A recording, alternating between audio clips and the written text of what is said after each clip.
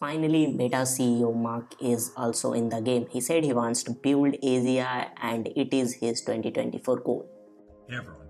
Today I'm bringing Meta's two AI research efforts closer together to support our long-term goals of building general intelligence, open sourcing it responsibly, and making it available and useful to everyone in all of our daily lives. It's become clearer that the next generation of services requires building full general intelligence building the best AI assistants, AIs for creators, AIs for businesses, and more, that needs advances in every area of AI, from reasoning to planning to coding to memory and other cognitive abilities. This technology is so important, and the opportunities are so great that we should open source and make it as widely available as we responsibly can so that way everyone can benefit. And we're building an absolutely massive amount of infrastructure um, to support this. By the end of this year, we're going to have around 350,000 NVIDIA H100s, or around 600,000 H100 equivalents of compute if you include other GPUs. We're currently training Llama 3, and we've got an exciting roadmap of, of future models that we're going to keep training responsibly and safely too. People are also going to need new devices for AI, and this brings together AI and the metaverse. Because over time, I think a lot of us are going to talk to AIs frequently throughout the day. And I think a lot of us are going to do that using glasses. Because glasses are the ideal form factor for letting an AI see what you see and hear what you hear, so it's always available to help out.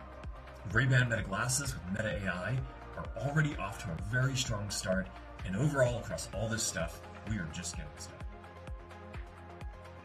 OpenAI is the company that started this emission of AGI Demis Hassabis, the leader of Google AI efforts, has the same goal.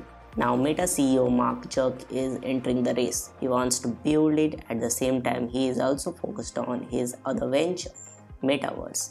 He wants to integrate general intelligence into its system so it can be more interesting, eventually helping Meta's product reach billions of consumers. He says we have come to this view that in order to build the product that we want to build, we need to build for general intelligence. In the more detailed part of the interview, the battle for AI talent has never been more fierce, with every company in the space vying for an extremely small pool of researchers and engineers. Those with needed expertise can command eye popping compensation packages to the tune of over $1 million a year, he says. CEOs like Mark Zuckerberg are routinely pulled in to try to win over a key recruit or keep a researcher from defecting to a competitor. Though everyone seems to be excited about AGI, not a single one working on AI include Zuck, Sam Altman seems to have a clear definition of AGI or an idea of when it will arrive. He sees its eventual arrival as being a gradual process rather than a single moment. As Meta CEO Zuck explains it, Meta's new broader focus on AGI was influenced by the release of Llama 2. Currently, Meta is training its Llama 3 and it will have code generating capabilities like Google's new Gemini model. Another focus is on more advanced reasoning and planning capabilities.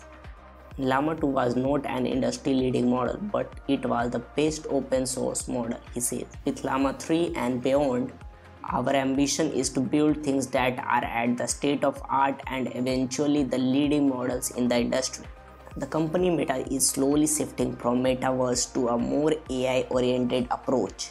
It is clear that Mark has bigger plans for its metaverse and it might surprise us.